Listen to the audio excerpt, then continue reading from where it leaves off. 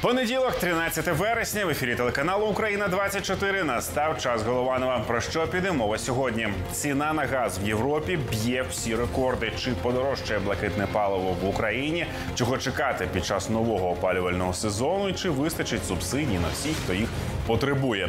Влада звітує за останні півтора року пенсії зросли на чверть. Та чи покривається підвищення здорожчання продуктів харчування? І як саме можновладці планують реформувати пенсійну систему? Урядовці закликають українців не продавати землю. Навіщо ж відкривали тоді ринок землі? Та чи дійсно це дасть поштовх українській економіці? Про це будемо говорити після 22.00 з Юлією Тимошенко. Ну а прямо зараз я з радістю запрошую до студію лідера радикальної партії Олега Ляшка. Олег Валерійович, добрий вечір. Дякую, що з нами сьогодні. Знову повернулися Вітаю, друже. в офіційний вигляд, краватка, костюм. Вже літо Літо ж закінчилося. як і не бувало. Е, питають глядачі, де Ляшко? Ну, а я традиційно поєднаю з запитанням, про що думаєте останніми днями, про що думає лідер радикальної партії? Ви от зараз сказали, що після 22-ї ви будете говорити з е, Юлією Тимошенко про землю. Давайте і до 22-ї поговоримо. Будь ласка. Тому що питання землі це е, питання майбутнього української нації, української державності. І радикальна партія завжди була е, і є проти продажу землі. І я хочу нагадати, що коли радикальна партія була в минулому парламенті, ми не дали провести закон про продаж землі. А в цьому парламенті цей ганебний закон, фактично про продаж України, провели. І коли я дивлюся звіти урядовців, як вони пишуть, 10 тисяч угод уклали, 15 тисяч угод уклали. Я не можу зрозуміти, в чому зміст е, звітувати про кількість укладених угод. Е, Власникам паїв, може, орендну плату підняли. А в чому зміст е, звітувати, що рекордний черговий врожай? Е, Мене цікаве одне питання: що від того рекордного врожаю селяни виграють? Їм більшу орендну плату заплатять, у них з'явиться корова в селі, у них буде нормальна ціна на молоко. Чи херсонські е, ці селяни, які знищують е, кавуни, отримають нормальну ціну за кавуни? Ми про це будемо говорити окремо. Ми підготували Да, відео. тому, тому треба урядовці не про кількість угод про продаж землі повинні звітувати, а насправді про те, як вони людям допомогли, щоб селяни виживали і щоб була нормальна ціна на їхню продукцію. Тому, коли ми повернемося, радикальна партія до наступного парламенту, одне із перших рішень парламенту буде це скасування цього закону про розпродаж землі.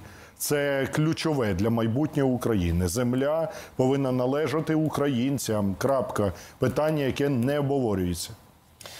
Питання, які обговорюються, можете поставити ви. Олег Валерійович, я думаю, з радістю відповість на будь-яке з ваших запитань. Тож, номери телефонів на екрані Viber, Telegram до ваших послуг. І якщо вам незручно набирати текст, або ну ви не користуєтесь месенджерами, у вас є можливість зателефонувати на номер, який ви бачите. Ми не почуємо вас в студії. Я одразу наперед скажу, щоб ви не хвилювалися. Дівчата в кол-центрі приймають ваші дзвінки, одразу на комп'ютері набирають мені. Я бачу їх тут вже в текстовому вигляді. Якщо я не прочитав ваше повідомлення, ви не ображайтесь, тому що повідомлень зазвичай дуже багато. Тому я всі 100% опрацювати не можу, тому що я їх вичитую наживо в прямому ефірі. Я нагадаю, ми працюємо наживо зараз 21.04 за Києвом. І ми готові вже перші е, запитання від наших глядачів раді бачити в ефірі. Е, На вашу думку, Україна в нормальному режимі пройде опалювальний сезон, чи все залежатиме від погодних умов? Сергій Чернівщина. Ні, Сергію, я думаю, що якраз величезні проблеми з підготовкою до опалювального сезону. Е, Абсолютно, я вважаю, ми не готові. Починаючи від запасів вугілля на станціях, коли сьогодні везуть імпортне вугілля авралом. Так і є же відоме прислів'я сані готуй з літа. Так з літа нічого не готували, навпаки, добивали українську енергетику, а сьогодні десь купують імпорт, а потім будуть відновлювати російський ім- імпорт. мотивуючися тим, що, мовляв, треба рятуватися, щоб у людей було світло. Так а для чого ви своє добиваєте? Це що стосується вугілля, те саме газу. Подивіться, ціна на газ у Європі, яка. Тому, коли нам розказують, що в Україні ціна на газ не підніметься, тоді у мене питання, якийсь дисонанс. З одної сторони, е, влада запевняє нас, що в нас ринкові ціни на газ. З другої сторони, по логіці, якщо в нас ринкові ціни на газ і ціна на газ росте, то очевидно і ціни на газ, який ми споживаємо, повинні рости. А якщо ця ціна не росте, тоді питання, за чий рахунок покривається різниця в ціні на газ, е, за якою закуповують газ, і ціна на газ, по якій нам постачають. Чому ми маємо переплачувати за цей газ? Якщо цей газ закуплений раніше по нижчих цінах, то там е, шалена рентабельність і куди вона йде? Чому Нафтогаз у збитках? Чому немає доходів до бюджету? Чому за ці гроші не видобувають більше газу, щоб менше купувати імпортного газу? Е, Житлово-комунальне господарство, котельні, все інше, тут взагалі аврал повний, Е, кіт не валявся, ні копійки туди в модернізацію не вложено. Я не бачив ніде звітів. Попробуйте знайти де-небудь звіти, скільки в цьому році використано коштів на програму теплі кредити, на енергомодернізацію, на кредитування громадян, щоб могли собі новий котел купити. Нічого цього немає. Ці програми не працюють. Як тоді знизити енергозатратність? Як людям менше платить?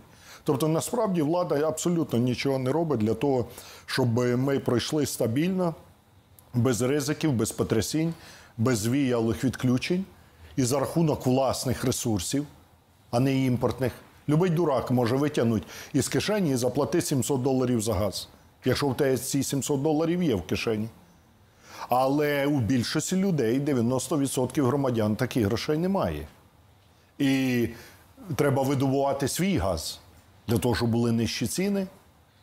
І уряд зобов'язаний просто внести зміни до бюджету і передбачити субсидії на підтримку тих людей, особливо пенсіонерів, особливо тих, які не мають доходів, щоб захистити їх від е, цих е, цінових потрясінь. Олег Валерійович, ви говорите про зміни до бюджету 2021-го. Ми зараз поговоримо про бюджет вже наступного року, тому що це теж важливо. Вже за два дні Кабмін передасть до Верховної Ради проект державного бюджету на 2022 рік. Пріоритетними напрямками фінансування визначили обороноздатність країни, освіту та розвиток медичної сфери. Як зазначив прем'єр-міністр Денис Шмигаль, на медицину планують втри витратити вдвічі більше ніж у 2019 році, а це близько 200 мільярдів гривень. Ще більше коштів піде на освіту понад 7% ВВП. Крім цього, наступного року уряд зосередиться на економічному відновленні та завершенні інфраструктурних проєктів. До слова, кошторис вперше формують на основі бюджетної декларації на три роки, так званий гаманець країни. Узгодили його, що в червні, де в загальних рисах визначили фіскальну політику доходів та видатків до 2024 року. Вперше документ ґрунтуватиметься на середньостроковій бюджетній декларації, яка розрахована на три роки. Е, Це буде збалансований реалістичний проект з чіткими пріоритетами, серед яких обороноздатність, розвиток медичної сфери, розвиток освіти, інфраструктура та, звичайно, соціальні програми. Я нагадаю, у першому читанні за бюджет мають проголосувати не пізніше 20 жовтня. Далі Кабмін готує правки до другого та третього читання. Остаточно кошторис планують ухвалити не пізніше 1 грудня. Так, про 2022 рік. Про на що особливо треба звернути увагу на ваш погляд, і про те, що плануватимуть ось на три роки вперед. Розуміло, що кошторис на 2022, але ось цей гаманець, нібито його о, м, е, розрахунки на три роки наперед. Ми можемо так далеко зараз дивитися, коли не знаємо. що- Ну так правильно напевно робити. Але В Є- чи у реальні це у Європі на 7 років складають бюджет, і взагалі це правильно, бо це називається прогнозованість. На превеликий жаль, це те, чого немає в Україні: стабільності, прогнозованості і передбачуваності. Це те, від чого страждають і люди, які не знають, що буде завтра. І інвестори, Буде робота. які не хочуть і заходити. інвестори, які беруть кредити, а потім міняють тут податкові правила. Серед року. Да? І людина е, в боргах, як шовках, і розраховує на один заробіток, виходить інше, і фактично влітають в хорошу копійку. А потім кажуть: інвестняня, інвестняня, доручення прем'єр дає кожному голові адміністрації знайти підприємство, де мінімум 500 людей буде працювати. Де ви їх знайдете, ці підприємства? Якщо вся ваша політика спрямована на те, щоб знищувати ці підприємства, у тому числі через підвищення податків. Тепер, що стосується бюджетної політики і взагалі економічної політики, це повний провал. Немає в Україні ніякої ні економічної, ні бюджетної політики. Бюджетна політика полягає у тому, щоб у когось забрати і поділити, і при цьому себе не забудь на откатах і на взятках. А економічна політика полягає у тому, щоб продовжувати торгувати сировиною. Он вони, я сподіваюся, ми обговоримо це далі. Вони хочуть протягнути закон, де скасувати е, заборону на вивезення необробленого лісу з України, яке ми добились у 2015 році. Можемо зараз обговорити. Це важлива на- тема. Безумовно, на словах розказують про економічне зростання, а на ділі роблять усе, щоб цього економічного зростання не було, щоб Україна й далі була сировинною колонією, щоб Україна була е, бідною і залежною. От минулого е, тижня. В комітеті з питань економічної політики Верховної Ради проголосували законопроект про скасування мораторію на вивезення необробленого лісу кругляку. Розказують, що, мовляв, от якісь там довідки попридумують, щоб не вивозили ліс. І ніхто не буде контрабандою вивозити ліс. У нас довідки підробні на тести продають. Є в кого сумнів, що куплять довідки, щоб ліс Будь- вивезти? будь-які тести. Абсолютно правильно. В інтернеті ви можете пошукати. Відновлення вивезення з України необробленого лісу приведе до знищення деревообробної меблевої промисловості, яка відновлена була завдяки нашому закону у 2015 році. 80 тисяч українців залишаться без роботи. 2 мільярди гривень виручки щороку, яка йде від торгівлі матеріалами втрати Україна. І ми продовжуємо консервувати сировинний статус України. Е, Українці мають право вимагати від влади, щоб вона не принижувала їх сировинною залежністю. Ми повинні не сировиною торгувати, а готовою продукцією. Ми ніколи не виберемося з бідності, ми ніколи не припинимо брати кредити, якщо ми будемо торгувати лісом, е, землею, зерном і так далі, замість того, щоб торгувати готовою продукцією. Вони хочуть скасувати мій закон, тому що їм треба взяти черговий кредит у Трошки- Європейському Союзі. Трошки детальніше я розповім глядачеві. Комітет з питань економрозвитку схвалив законопроект про ринок деревини. Доопрацьований документ рекомендували розглянути в першому читанні. За задумом авторів законопроекту він забезпечить прозорість на внутрішньому ринку на обробленої деревини. Мовляв, після стабілізації ситуації всередині країни можна буде скасувати мораторій на продаж лісу-кругляку до країн ЄС. Нагадаю, цього вимагали наші західні партнери після введення 10-річного мораторію в 2015-му. Давайте подивимось фрагмент засідання комітету.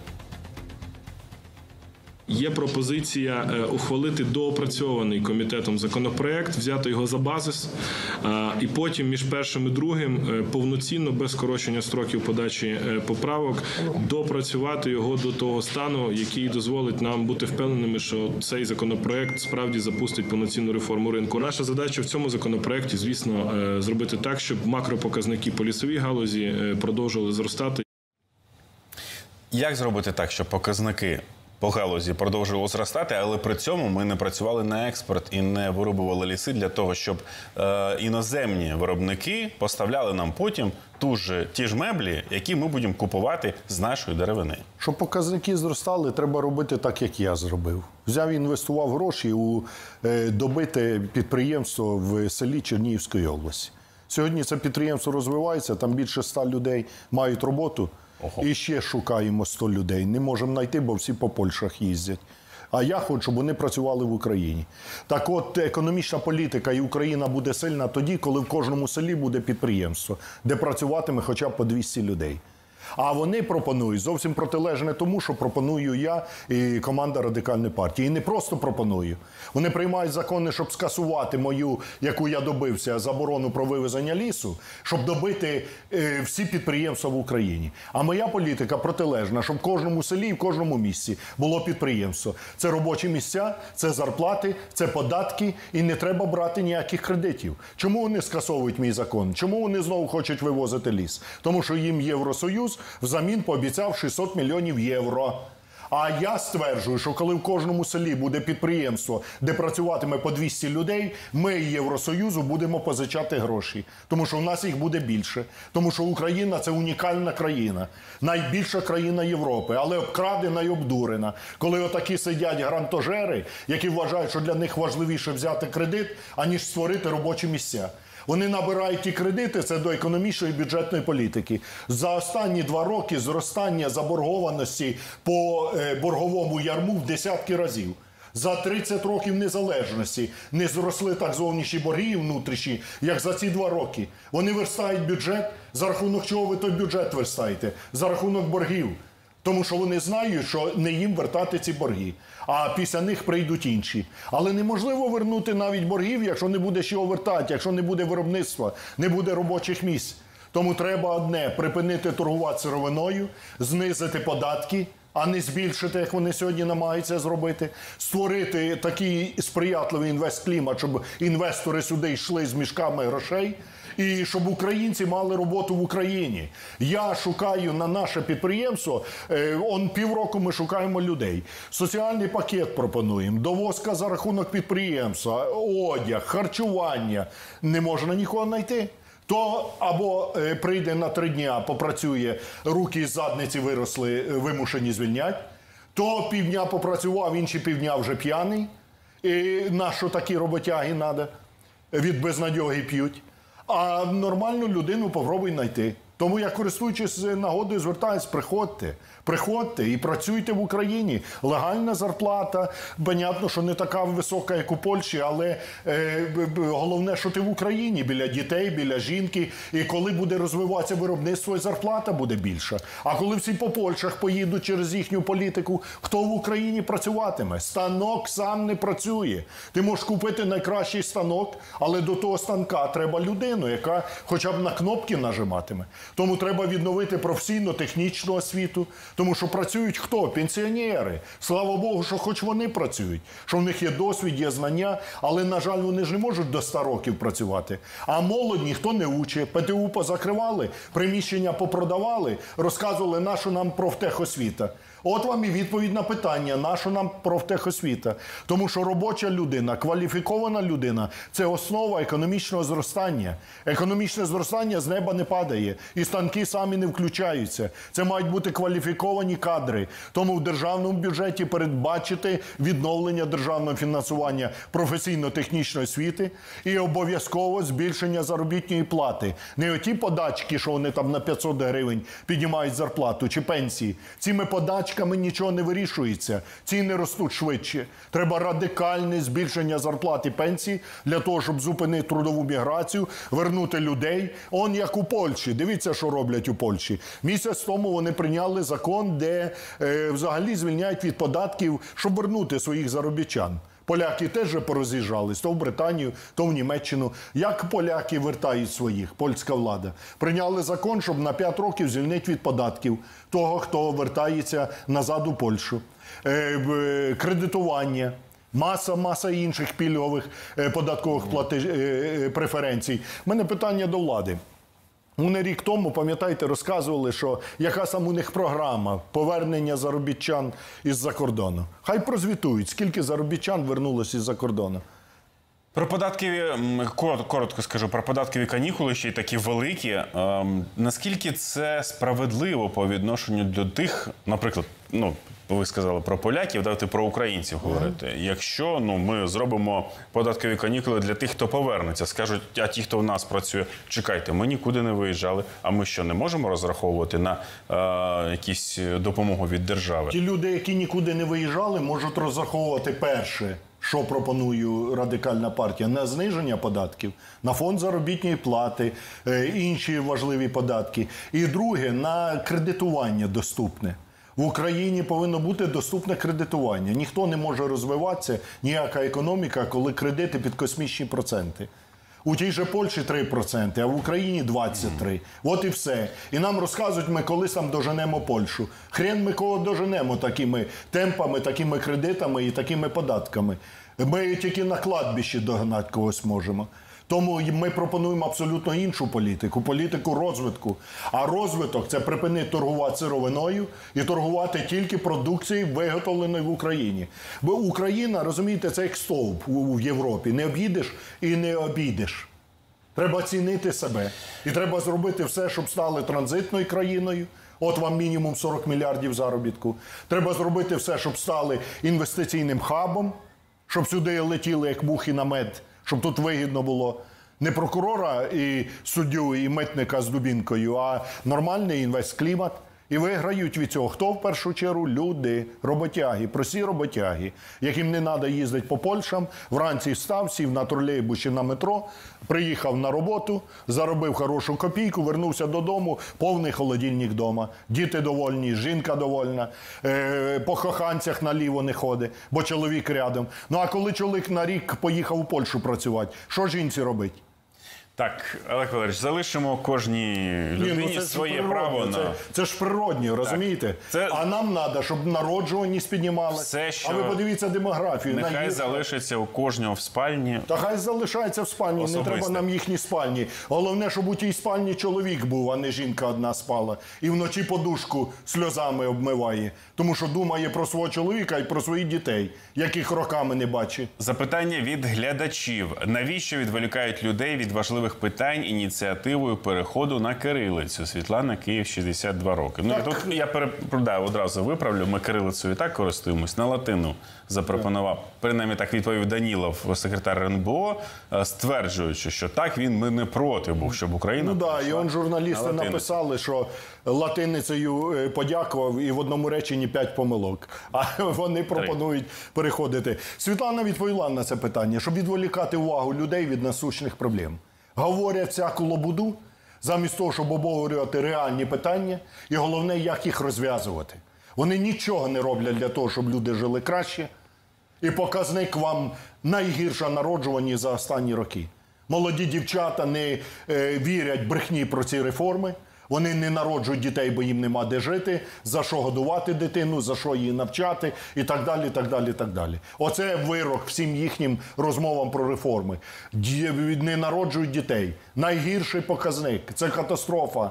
І тому треба не всяку дурню говорити, окозамилюванням займатися, а реальні речі, реальні проблеми українські і як їх розв'язувати. Реальна проблема, з якою зіштовхнулися.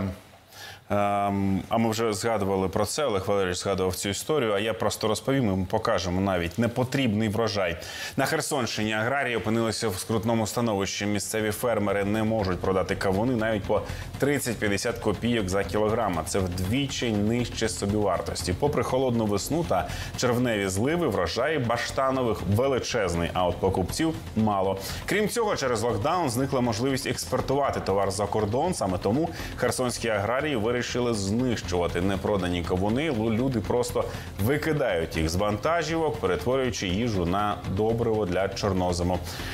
За інформацією профільного департаменту ОДА у 2021 році в області смугастих посіли на рівні попереднього року 23,5 тисячі гектарів. А щорічно на Херсонщині отримують близько 300 тисяч тонн кавунів. І отут одразу ми бачимо дві дві ситуації. З одного боку, ми бачимо аграріїв, які вимушені свій врожай просто розбивати ці кавуни об землю. Ну тут можна поставити багато питань. Тут е, глядачі е, і користувачі соцмереж пишуть, навіщо це ж неповага до своєї роботи. З іншого боку, їм потрібно витратити ще там е, бензин, соляру чи ще е, будь-яке, е, на чому він довозить ці кавуни. Хтось розказує, що потрібно було дітям віддати. Тут питання інше. Лю- Люди втратили свій врожай, вони не змогли його продати. А з іншого боку, є аграрії, які заробили шале... ну, аграрні барони їх називають в, е, серед людей, які заробили шалені кошти е, за рахунок того, що зросла ціна на ту ж пшеницю. А при цьому, ну. А ось ці аграрії плачуть і залишаються без копійки. Де баланс в галузі? Ну, по-перше, ті, хто пише, що фермери там не поважають свою працю, насправді це влада не поважає фермерів, коли доводять до того, що вони вимушені знищувати свій товар. Тому що за зберігання плати, за доставку плати, за все плати. І в людей таких можливостей немає. У мене питання до прем'єр-міністра, до уряду, до нинішньої влади. Де обіцяні фермерам 4 мільярди гривень державної підтримки? Чому ці люди не отримали підтримки? У Європі на гектар е, землі 400 євро дотації. Чому українських селян не дотують? Чому вони повинні роками ждати обіцяної компенсації вартості сільгосптехніки е, на коров, коли заводять молодих корів і так далі? Немає нічого. Ці програми не працюють. Все це забюрократизовано, корупційні абсолютно схеми. Замість того, щоб ввести е, по- е, це, е, спецрежим ПДВ, як був раніше, коли селянин отримує е, сільгоспвиробник на свій рахунок ПДВ від проданої продукції і використовує його тільки на розвиток. І не треба ходити по кабінетах, не треба нічого заповняти, не треба хабарів давати для того, щоб отримати державну дотацію і підтримку. Чому це перевели в ручний режим? Тому що ждуть, коли з чемоданом грошей прийде херсонський чи чернігівський фермер. Тоді може получить якусь подачку, і то копійчану. Тому насправді всі ці так звані розрекламовані бюджетні програми підтримки сільгоспвиробників не працюють.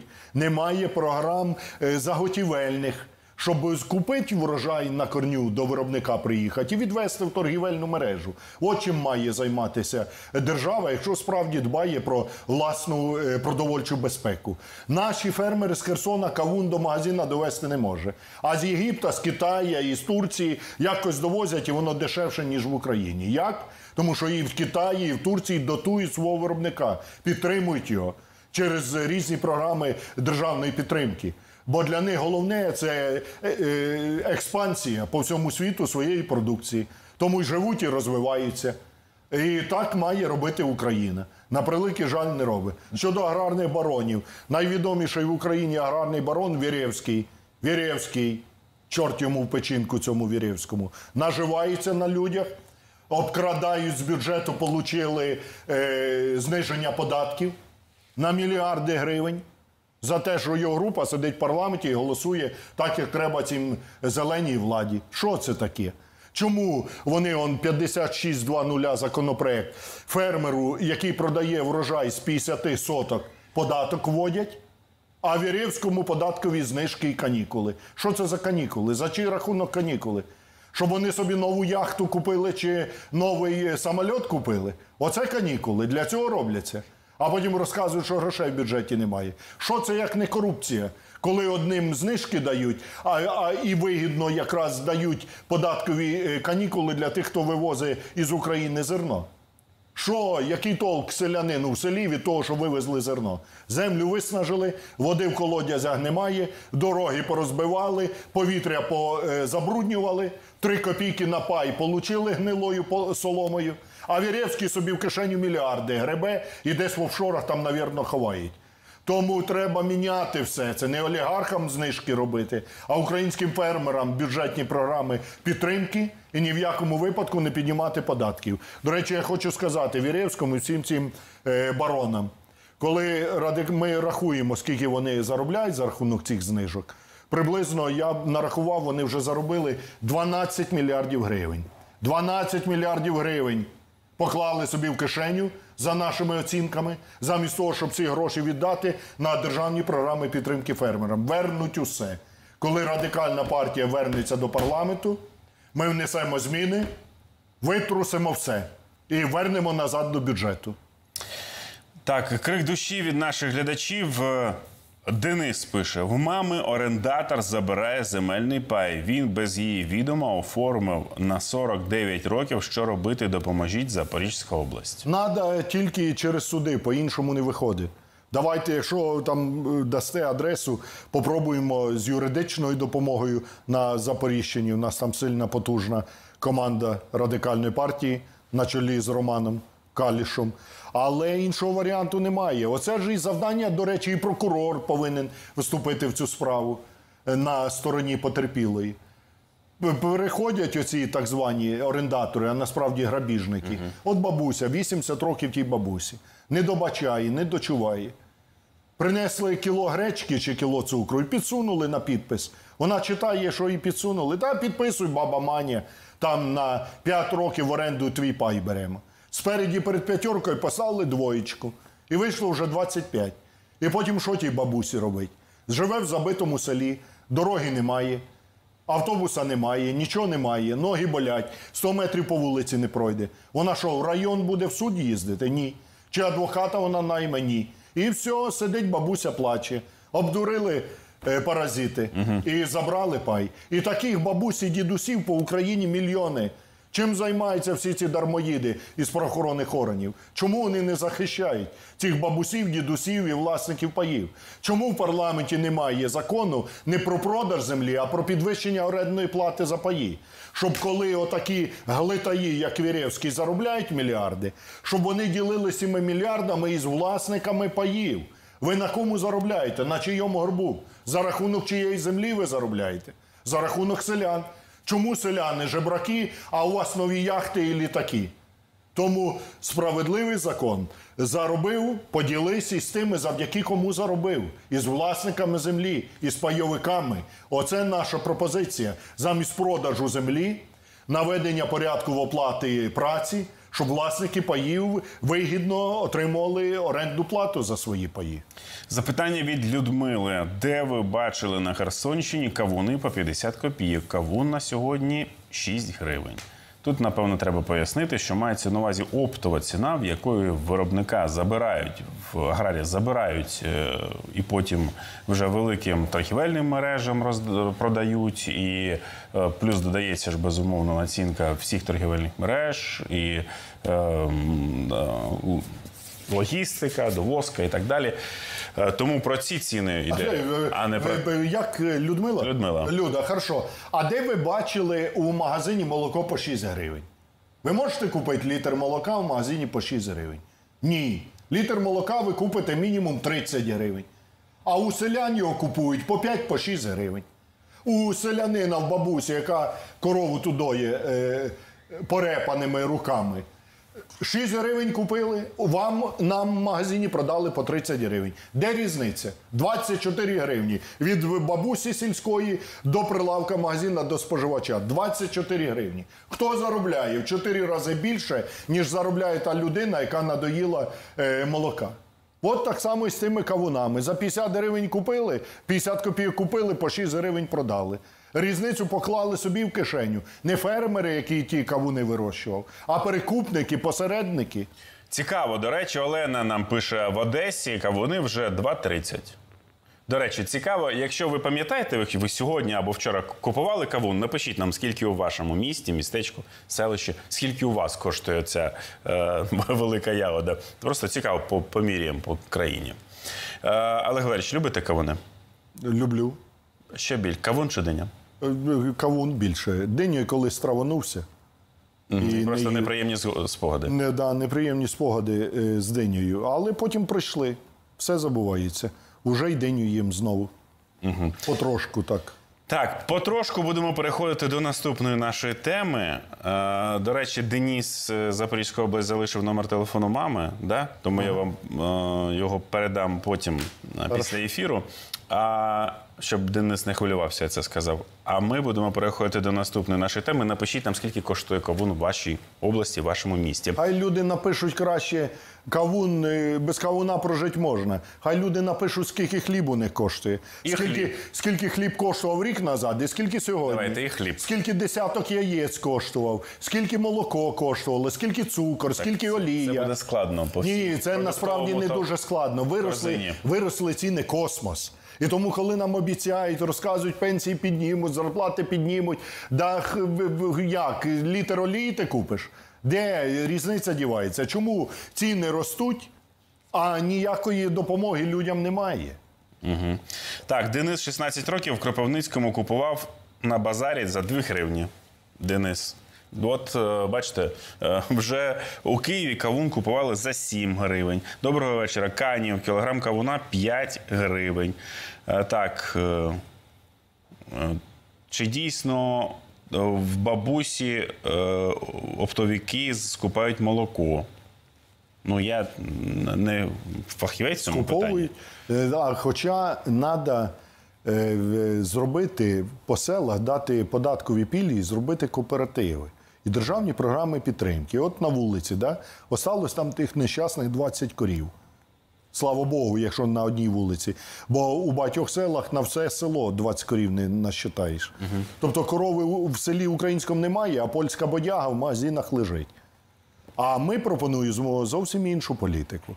Е, піль- е, Пільги по сплаті податків. На 5 років створюється сільськооператив, на 5 років звільнення від податків. Державна програма на закупівлю холодильної установки, доїльної установки, ще там що треба. Централізовано з вулиці молоко зібрали, переробили, бо в нас же стандарти Євросоюзу. Тепер у селян навіть молоко не купують уже на ці підприємства. Е, Тому зробити все це по стандартах і продати. І тоді ціна на молоко буде не 5, не 6 гривень, а е, 10-15 гривень буде ціна на молоко. Але це треба державна підтримка, щоб це зробити. Бо нам розказують так, я не буду купляти. От що вони сьогодні розказують? Чому вони не купують у бабусі в селі молоко? А тому, що вона грязними руками те молоко доїла, а відро грязне, і там жирність не та, і калорійність не та, і бактерії якісь, тому ми не можемо це купляти. Так зробіть, щоб воно все те було. Зробіть оці умови для того, щоб переробити, щоб чисто все це видобувало, е, доїлося і так далі. і так далі. Дайте людям допомогу. Ніякої допомоги немає. Корів на м'ясокомбінат вивезли, потім завозять, тратять сотні мільйонів доларів. Подивіться по статистиці. На сотні мільйонів доларів кожен рік купують імпортної молочки. Зараз будемо йти на тему пенсії, але перед цим швидко бліц кавуни. Скільки коштують в якому місті? Переяслав е, 3 гривні, Чернігів 5 гривень. І знову ж таки, це те, що пишуть глядачі, це не моя статистика. Кривий Ріг від 2,90 до 3,90. Київ, метро Харківська 5 гривень. Е, Так, інший месенджер відкриваю. Е, Сергій Краснопілля, Сумська область. Хліб, кирпичик 570 грам, ціна 17 гривень. Так, ем, ем, так, правильно, потрібно організовувати кооперативи, пише нам глядач. Арб- Кавун сьогодні Одеса на Черемушках по 6 гривень, хліб чорний 21 гривня, яйця 28,90. Ірина Одеса. Так, ем, Ну, дивіться, я зразу порахував, да? Да. Е, кі- хліб кірпичик 17 гривень на 30 днів. 510 гривень тільки за хліб у місяць, мінімум. це ну, на родину. Одна Да. людина не з'їдає Да, кирпичик так, цілий. Е, е, да, так я ж говорю. Мінімум 510 гривень. Це тільки на хліб. А до хліба ще ж хоча б літр молока раз на тиждень. Може, ще кусок м'яса раз у місяць, якщо повезе. Може, там цибулину, яку ще картоплину. Якщо не в селі людина, то точно не виживе. Без цибулини і картоплини. От і посчитайте. А он я недавно був е, два дні тому в Сосниці на чергове е, річницю від дня народження Олександра Петровича Довженка. Потім ми поїхали в село Велике Устя, прекрасне придесенське село, до ветерана Івана Івановича. 101 рік ветерану, танкіст. Топлять хату дровами. Я питаю, по чому машину дров? Скільки треба, щоб опалити хату зимою? Дві машини дров. Одна машина дров 5500 гривень. Тобто маленька, 11 тисяч лише на дрова. 11 тисяч гривень тільки на дрова. Столітнього Да, да, а цій людині ще треба на ліки, на якийсь там слуховий апарат, якщо треба, чи протез, бо він з паличкою ходить і так далі. Так за дрова треба все віддати і все, зуби на полку і без хліба. Якби не село, якби не якась там городина, якби не його рідні молодці, там і син, і дружина його доглядають. Не відмовилися, не здали кудись у інтернат, а доглядають. Честь і хвала цим дітям, що за батьками доглядають. То він би не вижив. Ветеран 100 років, 11 тисяч гривень за е, дрова. Заплатив би він сам? Ні. Сидів би в хаті і помер би із холоду. От до чого доводять Жах, людей. жах. І ніякої ні субсидії, нічого немає. Так, швидко ще раз. Кавун, Черкаси 4 гривні. Волочиськ, Хмельницька область 5 гривень за кіло. Біла церква, кавуни по 4 гривні. Місто Суми, хліб 20 гривень. Молоко 22 гривні, місто Суми яйця 29, кавун 4,50. В Чернівцях самі виро- вирощуємо кавуни. Дешевші, дешевші і смачніші. Григорій, машина дров 12 тисяч в Чернівцях. Так, і ще було з Херсону повідомлення, що по 6 гривень вже ніде нема, вже по 2 продають. Е, А у нас у Вінниці коштує кілограм кавуна 5 гривень, Євдокія 50 років. Е, Так, Волочиськ мене виправляють, а не Волочиськ. Я перепрошую перед всіма хто образився. Я думаю, ви не образились. Ви зрозуміли, що я е, не спеціально. Так, про пенсії е, будемо говорити. Відтепер Напевно, треба сказати знову, але нехай відтепер індексація пенсій проводитиметься щорічно 1 березня. Це стосується усіх категорій пенсіонерів. Відповідний законопроект підтримала Верховна Рада наприкінці пленарного тижня. За словами урядовців, недоліки пенсійної реформи 2017 року виправлені, справедливість відновили. Також у законі тепер прописана точна дата індексації 1 березня. За словами прем'єр-міністра Дениса Шмигаля, завдяки комплексним програмам підтримки пенсіонерів за півтора року середні пенсії зросли майже на 25%. А паралельно з цим уряд працює над запровадженням накопичувальної пенсійної системи. Тож варто чекати європейських пенсій. Давайте почуємо пряму мову прем'єр-міністра.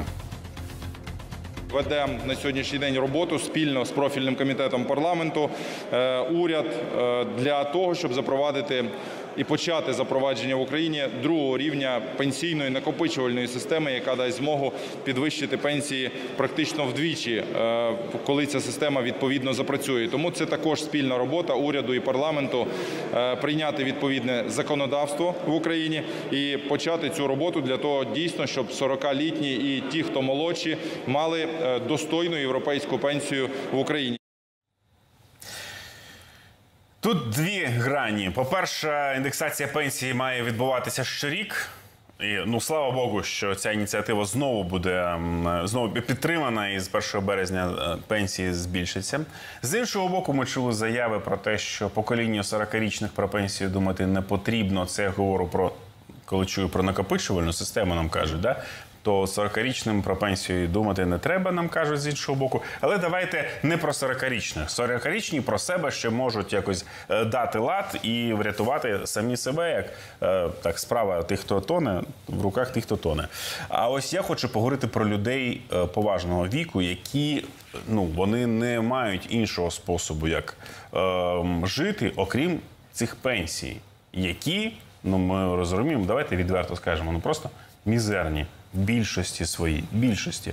Да, є великі у когось пенсії, там збільшені. Я не кажу там навіть про суддів і так далі. Звичайна пенсія, коли ми бачимо 2 тисячі, 3 тисячі гривень, коли в супермаркет зайти, якщо там в, місті, я не знаю, в селі інша ситуація, то треба залишити на касі, де 900, тисячу, півтори, в залежності від того, там на який ти час, на яку родину збираєш ці, е, цей е, візок.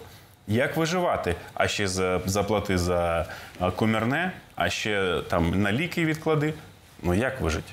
Те, що зараз розказують підвищення пенсії, це не підвищення, а подачки. Це так, щоб е, замовкли, на тобі кістку і замовкне до наступного разу. Реальне підвищення можливо виключно, коли буде зовсім інша українська економіка. Вони розказують про те, що 40-річні будуть отримати європейські пенсії, 40-річні отримають дулю з маком із їхньою економічною політикою. Тому що коли розказують про накопичувальну систему, так накопичувальна того й називається, що людина, яка працює, що вона мала можливості накопичувати. Коли переважна більшість людей працюють або нелегально, без оформлення трудових відносин, або отримують копійчану зарплату, що вони накопичать? Їм сьогодні жити треба, кусок хліба купити, який стоїть 20 гривень у сумах. І з чого вони будуть накопичувати? Більше того, ті пенсійні фонди, які створять ці накопичувальні, а фонди куди вкладатимуть гроші людей, які платять туди внески. Е, Гроші для того, щоб вони е, зароблялися, вони повинні крутитися. Покажіть мені, куди в Україні можна вкладати. Єдине, більш-менш, куди можна вкласти в будівництво. Що вони хочуть зробити? Вони хочуть ввести новий податок 20% на купівлю-продаж квартир. Подорожчають квартири на 20%. І вони вважають, що таким образом вони залатають дірки в бюджеті. Вони просто вб'ють будівельну галузь. А коли вони вб'ють будівельну галузь, то взагалі нікуди буде вкладати для того, щоб інвестувати. Пенсійні фонди на заході, які накопичувальні, вони інвестують у цінні папери, вони інвестують у якісь е, розробки, у е, е, цілі галузі і так далі. Тобто там є куди інвестувати. А в Україні взагалі немає куди інвестувати. Ви чи я, ми платимо з вами 30 років до пенсійного фонду. Е, Що буде через 30 років з нашими грошима? Подивіться на інфляцію, он більше 10% у цьому році. І коли ви не вкладаєте ці гроші, ну получимо ми з вами через 30 років, нарахують нам пенсію 0,0. Тому це глобальна проблема. Тут недостатньо тільки ввести накопичувальний рівень і вже зразу появляться пенсії. Ні. Це починаючи ключове головне це економічний розвиток. Е, Припинити торгувати сировиною, відновлення виробництва, е, нові інструменти для інвестування е, пенсійних фондів, відповідальність за діяльність фондів. Хто за них буде відповідати? Ми з вами платимо внески до пенсійного фонду. Сидить там якийсь аферюга, забрав наші гроші, перевів у долари і з коханкою заховався десь в Ізраїлі чи на е, Кайманових островах, чи ще де-небудь. Як його звідти витягти? Навіть якщо його гнилу задницю воровську звідти витягнуть, хто гроші верне? Хто гарантуватиме? Он у банку у пропаде банк, то хоч фонд гарантування вкладів якусь частину коштів верне. А хто вертатиме і гарантуватиме, е, коли пропадуть гроші у приватних пенсійних фондах?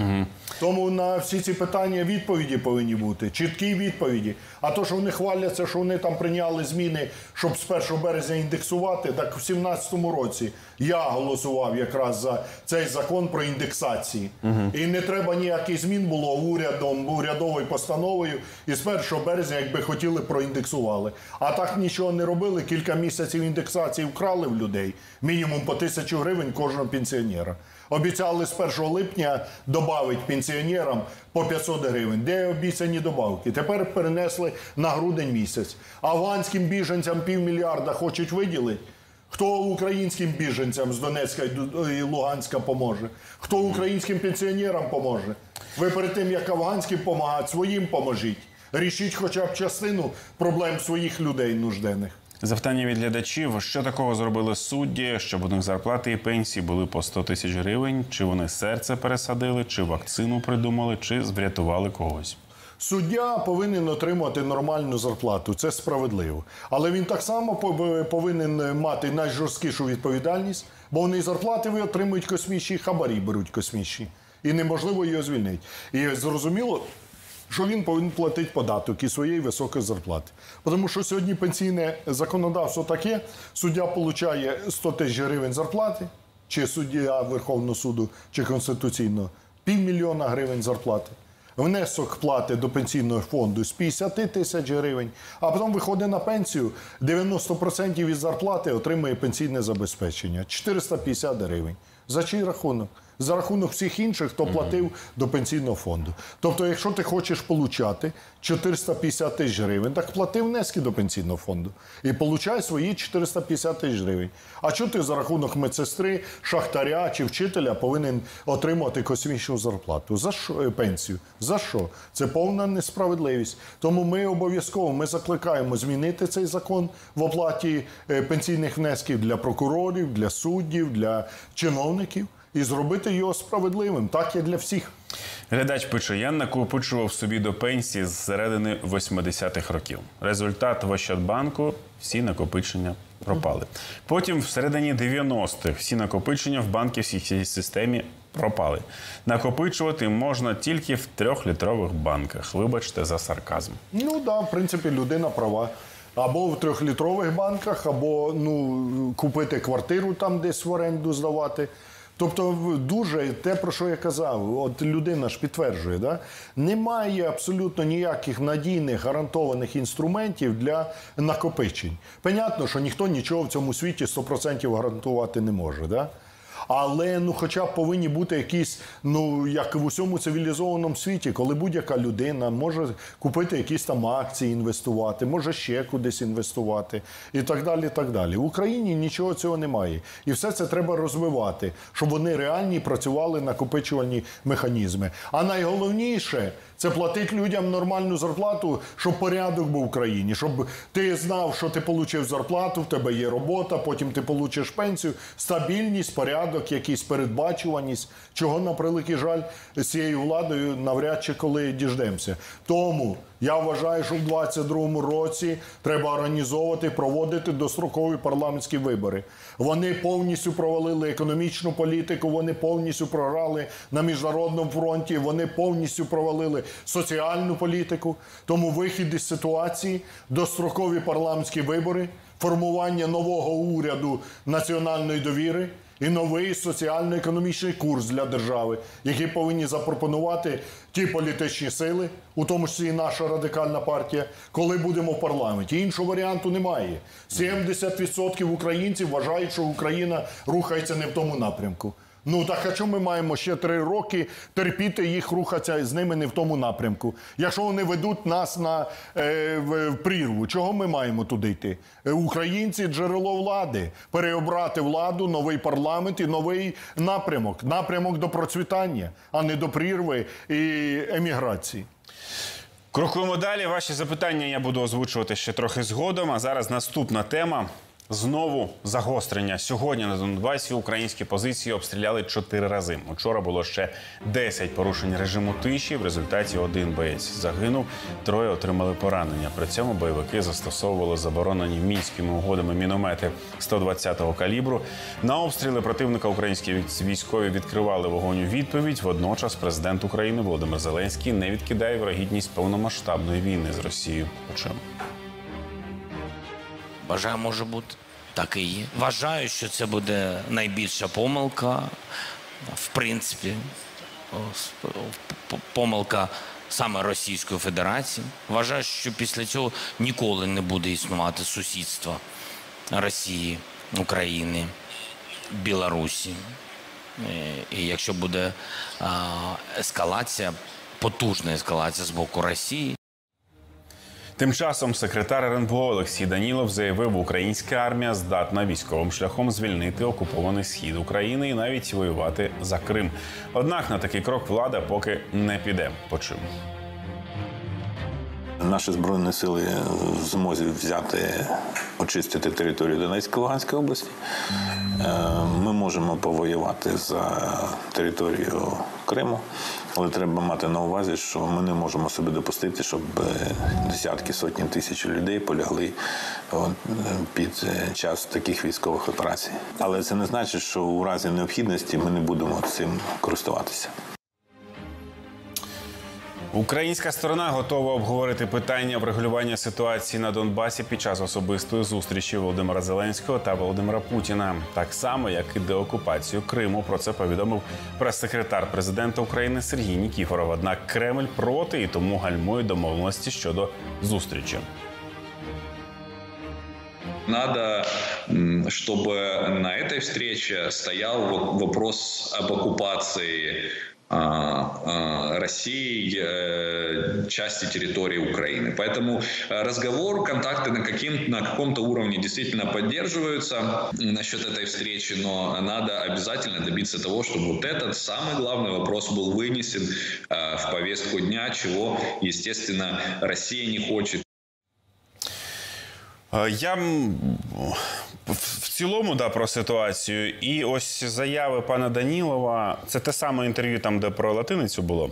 Ем, В, я читав коментарі в ЗМІ і в соцмережах. Різанула в багатьох фраза Ми можемо повоювати.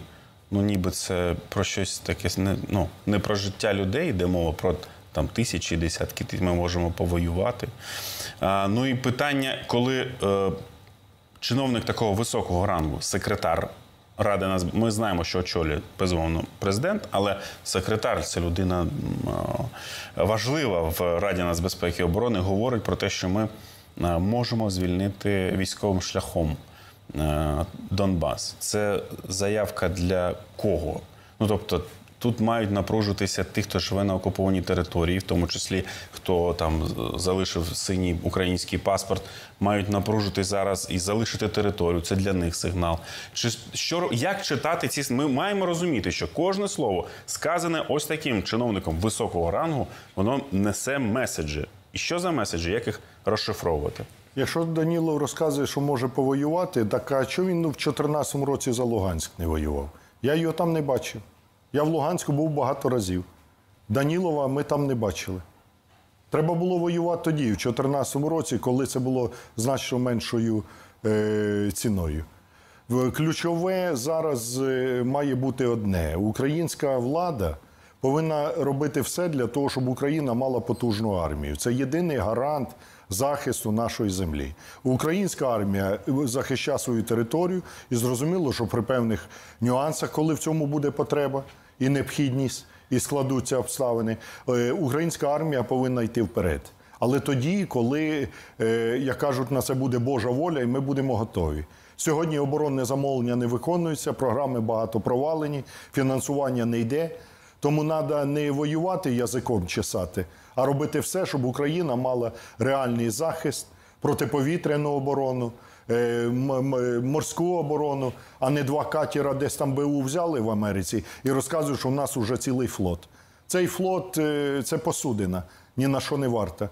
Порівняно навіть з російським флотом. Тому до цього треба підходити значно серйозніше. Ну і ключове це економіка.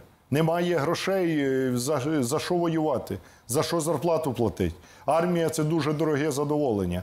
Але якщо не годуєш свою армію, то будеш годувати чужу. Так от свою армію треба, щоб було за що годувати. Економічний розвиток, нові робочі місця, виробництва і кошти в бюджеті на фінансування армії. А не приїжджати з Америки, нам дали 60 мільйонів доларів на джевеліни. В Україні потужний військово-промисловий комплекс. Ми повинні відновлювати своє е, промислове виробництво, науковий потенціал, повністю забезпечувати потреби фронту. І е, наука повинна працювати на оборону країни і на звільнення. При цьому е, зрозуміло, що одні в цьому протистоянні з Росією ми не повинні бути. Тому в жодному випадку.